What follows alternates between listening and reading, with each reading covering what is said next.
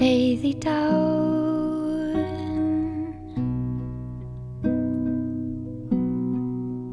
Park your head up on my pillow.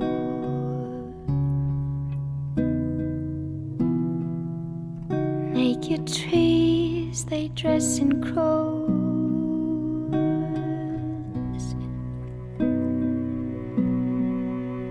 Greet the horses coming nearer.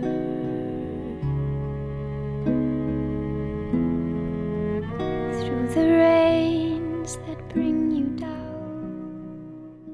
My mother is from Iceland and my dad's from Italy, Naples.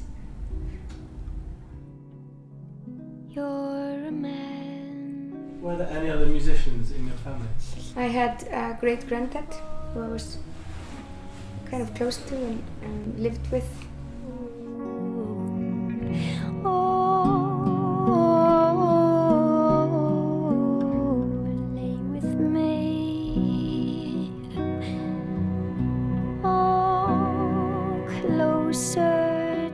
I began singing when I was seven in a choir, and I was in the choir about, well, from seven till 13 or 12.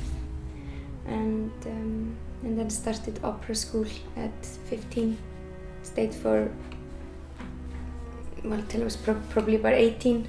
And in the meanwhile, I started discovering real music. No.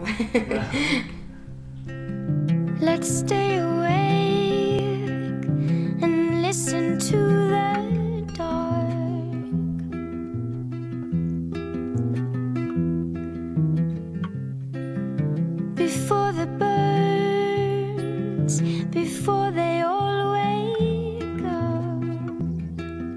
How would you define your music?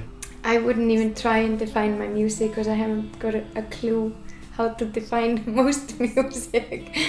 Uh, I usually get it wrong, but um, I guess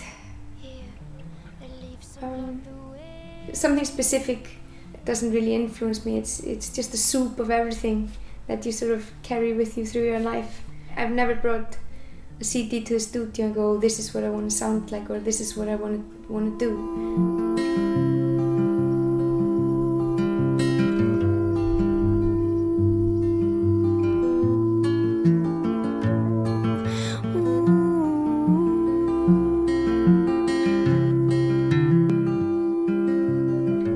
tend to go a lot into the matters of the heart. I'm kind of melodramatic, but I think I will just let.